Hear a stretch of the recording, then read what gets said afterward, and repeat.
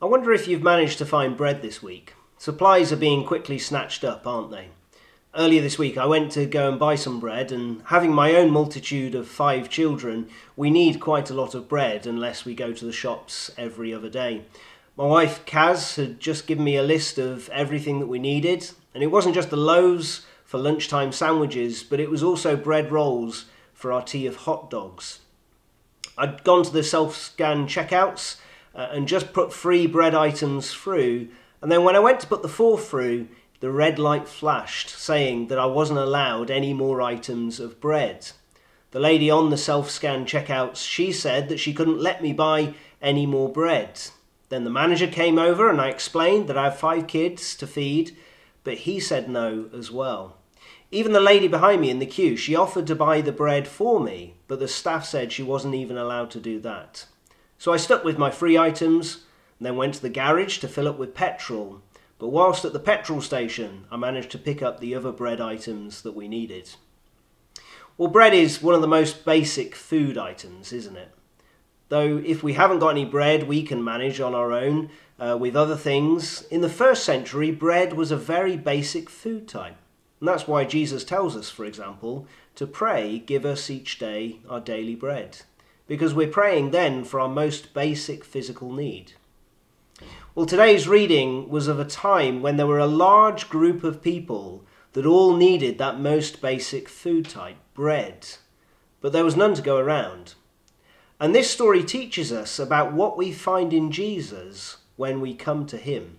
It's about more than just bread. Now, in one sense, coming to Jesus is a one time thing. You only become a Christian once because to become a Christian is to recognize that Jesus gave his life for you so that you could give your life to following him forever. Maybe you're not yet a Christian. Well, Jesus is there for you to come to him and to follow him. He gave his life so that you could come to him. No one has been good enough to come to him, none of us could be. Instead, we trust in what he has done for us we recognize that He did everything for us so that we could come to Him. But then, when we are Christians, we need to keep on coming to Jesus every day to renew our friendship with Him. Because that's what it is to follow Jesus, is to spend the whole of your life with Him. And so we need to be, need to be reminded of Him each and every day of our lives. If you turn your Bible back one page to Matthew chapter 14, you'll spot a very similar story, a very similar miracle, in fact, a more famous miracle. Jesus has only just fed a crowd of 5,000 with bread and with fish. And now, a short while later, he's feeding a slightly smaller crowd of 4,000 people. So, why the repeat? Well, we'll come on to another reason later on. But perhaps one reason is because Jesus wanted to see if his followers had learnt the lessons from before when he fed 5,000 people. And it seems that they hadn't. So they needed to be reminded of who Jesus is and of what we find in him when we come to him. So whether we're coming to Jesus for the first time this morning, or whether we're coming to him as those who already follow him, what might we find when we do come to Him? Well, one thing we do find in coming to Jesus is compassion. Compassion is when you see that someone is in a very needy situation and you're moved by it. You're concerned and grieved and you want to help. In fact, the word, uh, as it was used in the first century Greek, uh, means a moving in the bowels. So it's to be moved internally is what to have compassion is. And Jesus, in speaking to his disciples, he tells them that he's moved with compassion for this vast crowd of people. When you look at this crowd in the story, uh, you can see that there was plenty of need for compassion. We learn about some of their needs before we get on to the topic of food. And in verse 30, there's a list of all the needs. So you've got people who couldn't walk people who couldn't see, people who couldn't talk. And then there were many others as well. Now, in those days, disabilities were a lot more debilitating even than today. There was no disability benefit and no extra help for those who couldn't work. It was usually the case that those who were disabled became beggars on the streets. But Jesus heals them. And as he heals them, he's showing his compassion upon them. He recognizes their great need. And because he has the power to meet those needs, so he meets those needs in the most incredible ways by healing them. Can you imagine what it must have been like to be blind or unable to walk, to have such a crippling condition, only to have someone to lift you back on your feet or to open your eyes? Can you imagine it? It's wonderful, isn't it? Well, the result is that they praise God. But then Jesus has even more compassion upon them. In fact, it's only after he's healed them that he tells his disciples that he has compassion for them. And this time it's for an even more basic need that they have for food. Jesus recognizes that they haven't been uh, able to eat for a long time. They've been with him for three days. That's a long time to be without food, especially for us in the West who, whenever we're hungry, uh, we eat. Jesus has compassion upon them in their hunger as well as in their healing.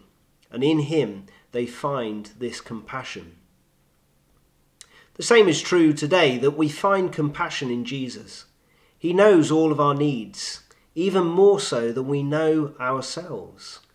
He knows what you've been struggling with this very week. He knows if it's been a challenging week for you as you cope with your circumstances, whether it is getting bread, or feeling alone, or isolated, coping with the stress of homeschooling. Maybe you've been coping with a disability, or with grief, or with pain, or with something else. Well, Jesus knows and Jesus cares. If you come to Him, you'll find compassion.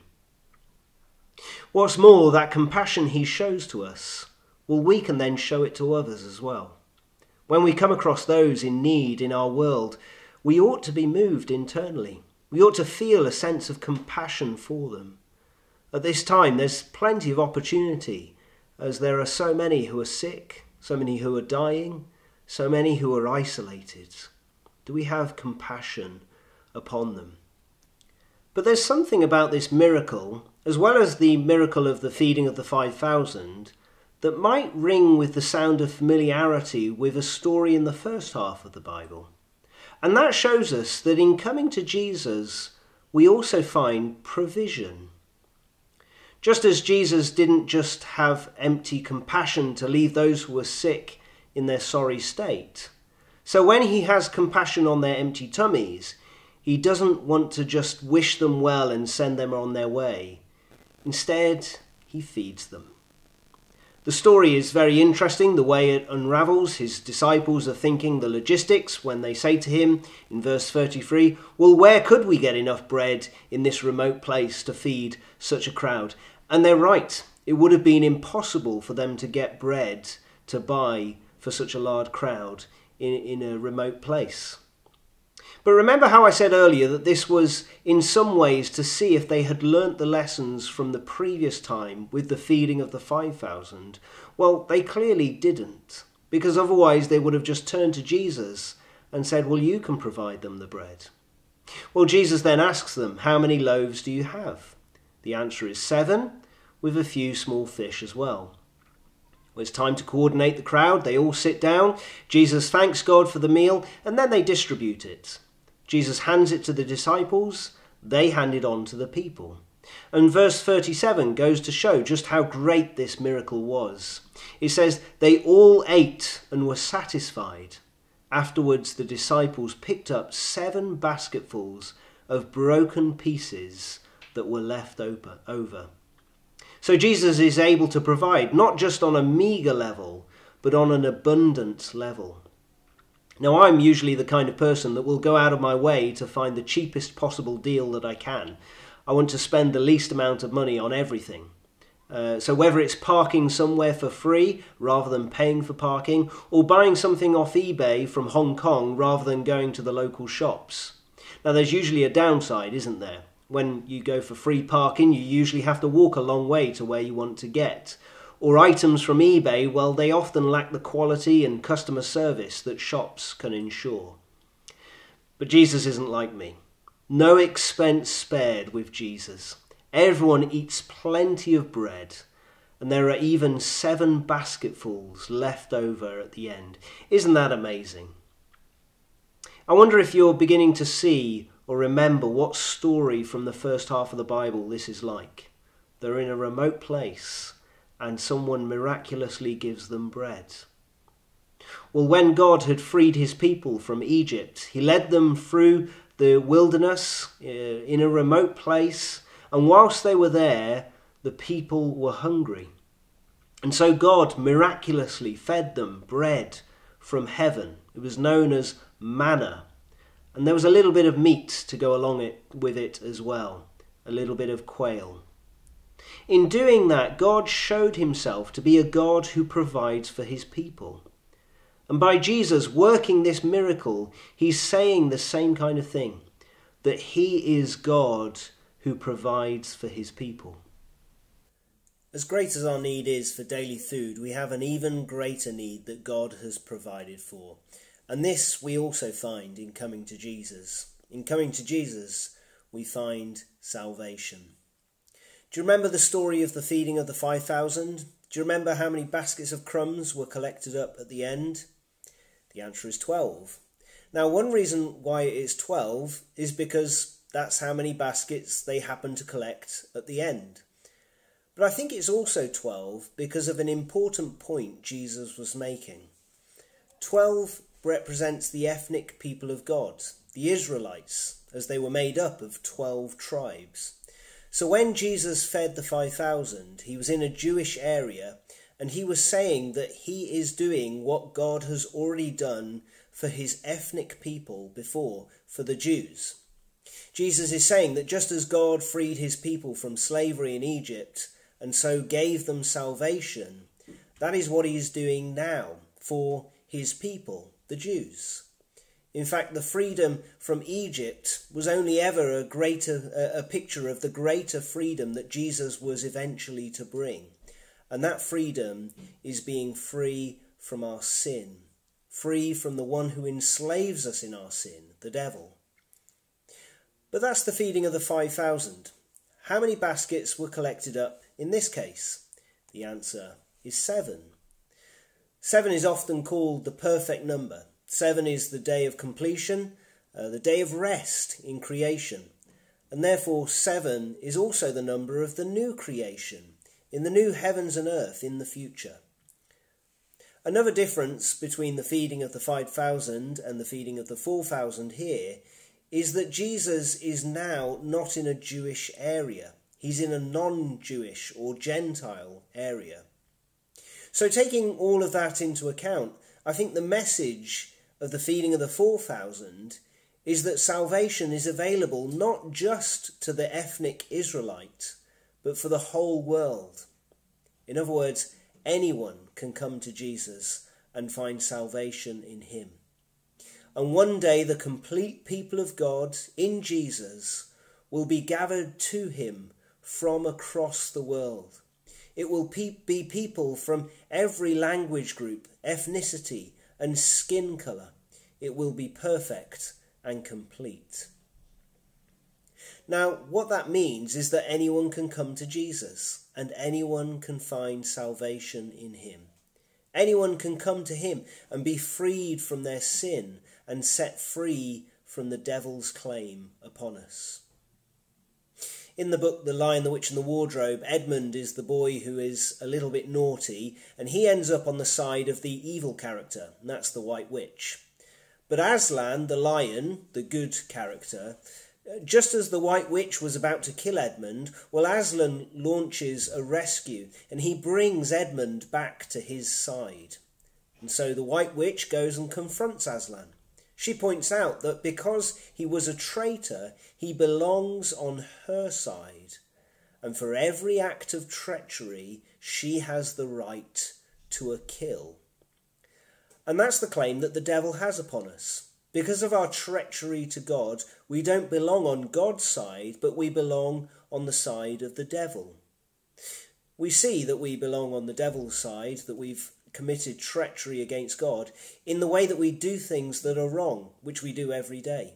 We see it in the way that we act selfishly, and haven't we seen a lot of that in our current crisis? We see that in the way that we simply ignore God and don't give him a second thought. And what's more, the devil has a right to a kill because of us and our sin. However, as the Aslan story goes on, so Aslan goes to the White Witch willingly and lets her take him, and she, he lets her even kill him. Aslan gave his life so that Edmund could receive his salvation. And that is a picture of how Jesus has secured our salvation. Though we belong to the devil, Jesus has set us free by giving his life in our place. As he died for our sin, so we have been set free.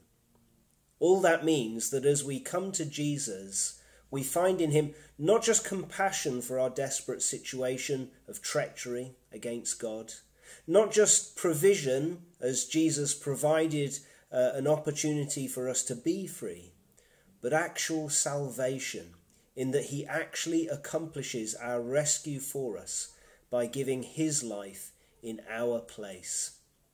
If you've not yet come to Jesus, why not accept that he died for you so that you could be free and forgiven and accepted by God. And you, if you are one of his followers, then don't we need reminding of this all the time? Don't we need reminding uh, uh, of what he has done for us?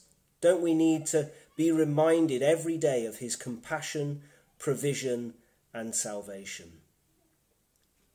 Well, we're going to sing one more song before I close in prayer. So let's sing our next song, I Once Was Lost in Darkest Night.